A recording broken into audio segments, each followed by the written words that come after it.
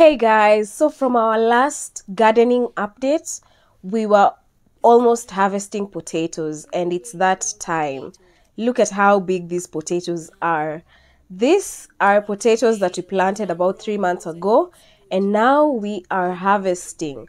And this is the last harvest, this is the last product or last item we are harvesting from our season one uh, planting so we just want to show you and we just wanted to finish this season with you guys and just show you how how blessed our products are, how blessed our garden is, guys. And if you haven't watched our season 1 farming, please go back and watch our videos. Otherwise, we are here to give you another new season of planting. So before we go on, do not forget to subscribe to our channel. Be sure to subscribe, be sure to like this video if you enjoyed it, and let's get started.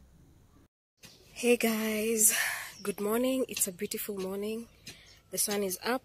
It was raining during the night uh, here, but uh, the sun is coming up really well. It looks good. So, um, today we are planting.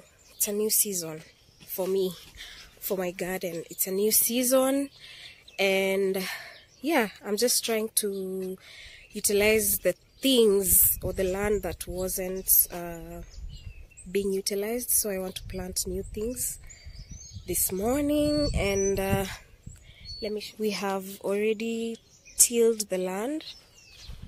This has been here for like a day so today we just want to plant.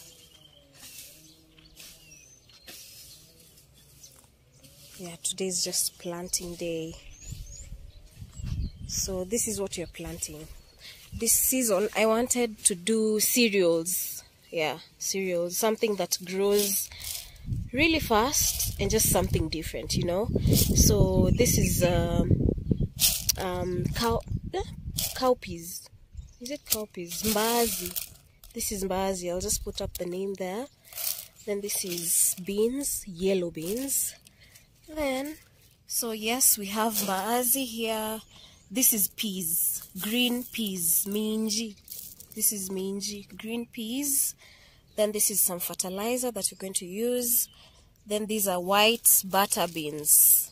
Yes, those big beans. I love them. Then the black butter beans, some more tomatoes, some white radishes, more dania, carrots, and managu, and some garlic. Yes, so that's what you're going to plant this season, and more, I'll update more if I decide to add any other things to my garden. But so far, I think, yeah, this is just what's happening today at the garden